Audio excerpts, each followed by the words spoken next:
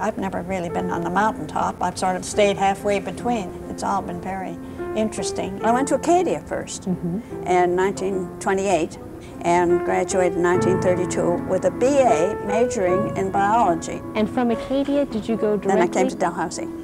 Well, first of all, I was the only girl in the class. I was just like a queen. They just waited on me hand and foot. Mm-hmm. In those days, we had to have our own microscope and uh, all our own uh, instruments, and, and so we carried them from one lab to another, and they always carried mine for me, and they always held the door open for me. Otherwise, I thought I was one of the boys. I answered all the advertisements in the uh, medical journals uh, uh, the, where they asked for residents or interns, and uh, only one hospital answered me.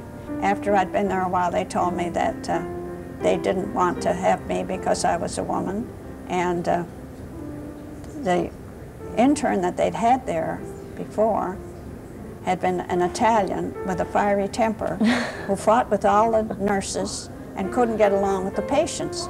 And so the comment was, well, anything would be better than what we have. So let's try her. Once I got into anesthesia and realized how big it was, how big a field it was, and how many changes they were making so rapidly, I kept on and I did my three years there and uh, got my specialty. Using a relaxant was so new.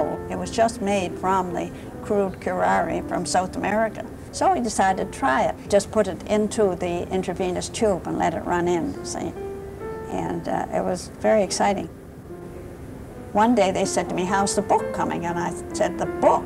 And, you know, they thought it was going to be a book, but I didn't. I thought it was just going to be something, you know, put on the Xerox. And uh, I said I'd never teach, you know, and, uh, and here I wound up teaching longer than I gave anesthetics. Uh, but you never know when you start out what you're going to do.